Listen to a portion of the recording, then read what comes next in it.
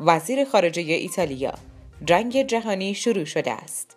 لویجی دی مایو وزیر امور خارجه ایتالیا گفت جنگ جهانی همکنون در جریان است. فقط جنبه آن نظامی نیست. وی در این خصوص اظهار داشت ما از مشارکت نظامی ناتو در درگیری در اوکراین حمایت نخواهیم کرد زیرا منجر به یک جنگ جهانی خواهد شد. ما در حال حاضر در جنگ جهانی هستیم اما نه از نقطه نظر نظامی. گرچه آمریکا و کشورهای عضو ناتو از ابتدای بحران در اوکراین از اعزام نیرو و مشارکت مستقیم در جنگ خودداری کرده و با درخواست کیف برای ایجاد منطقه پرواز ممنوع بر فراز اوکراین مخالفت کردند اما تحریم های شدیدی را علیه مسکو اعمال کردند که روسیه آن را جنگ اقتصادی توصیف کرده و هشدار داده این تحریم ها ضربه ای جدی به کل اقتصاد جهان وارد خواهد کرد. کشورهای غربی همچنین با ارسال سلاح و تجهیزات در کنار اعزام مزدور به اوکراین به درگیری ها دامن زدند که این مسئله همچنین احتمال وقوع درگیری میان روسیه و ناتو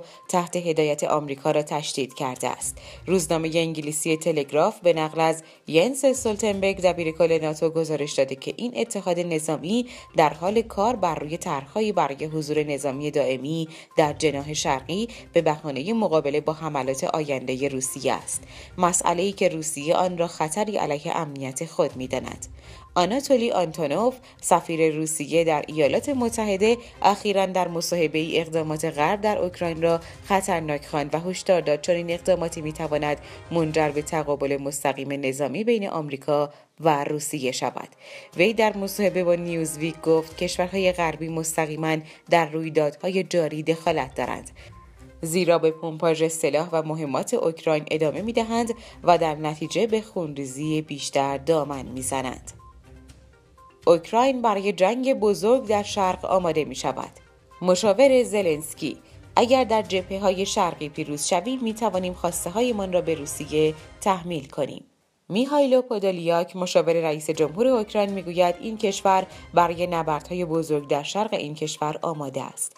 مقامهای اوکراینی از هفته گذشته و همزمان با تسریع روند عقب نشینی ارتش روسیه از شمال این کشور و به ویژه هومه کیف اعلام کردند. مسکو خود را برای حمله عظیم به شرق آماده می کند.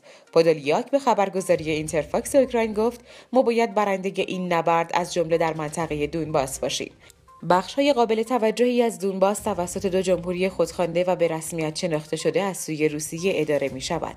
به گفته این مقام عالی رتبه پس از پیروزی در جبهه های شرق موضع اوکراین در مذاکرات با روسیه قوی تر خواهد شد و این کشور می تواند برخی شرایط خود را به مسکو تحمیل کند. ممنون که تا پایان با ما همراه بودید. جهت آگاهی از مهمترین رویدادهای ایران و جهان کانال ما رو در زیر همین ویدیو subscribe و زنگوله اونو فعال کنید. وقتتون خوش و خدا نگهدار.